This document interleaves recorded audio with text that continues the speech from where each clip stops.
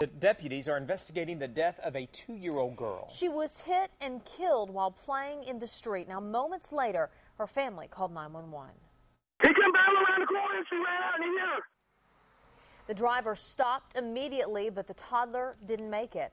Eyewitness News 5's Amanda Guerra spoke to investigators about possible charges. It's new tonight. Well, Paul and Jessica, you can clearly see the signs here where it says speed limit 15 and happy children at play. But despite these warnings, two year old Layla Pearson died just down the road. Like most new mothers, Jamie Berry adores her daughter Jasmine. Can't trade her for the world. And if I would have lost her, I don't know. Oh my gosh. Yeah.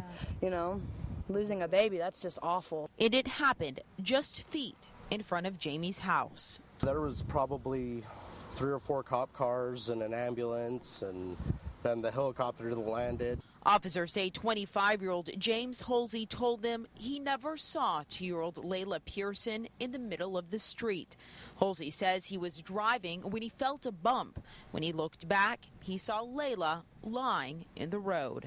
They just never watch their kids. Like they're always running around in the streets out here which is just not the way they should be, especially at two years old. Officers say so far they haven't charged anyone in the case. They took a blood sample from Hulsey. They'll also be looking at charges against Layla's parents. Well, if there was information that came out that would show that the parent was in neglect, then that's a possibility. Never, ever are you going to be in the road. Jamie says it's a harsh warning for all parents.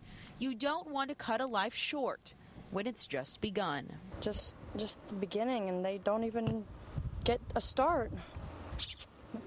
And officers say they actually had a specialist come back out here, reconstruct this accident to try and figure out exactly what happened. Reporting tonight in Stillwater, Amanda Guerra, Eyewitness News 5. Now, police say they will wait to finish their investigation before they file any charges, and the investigation could last weeks.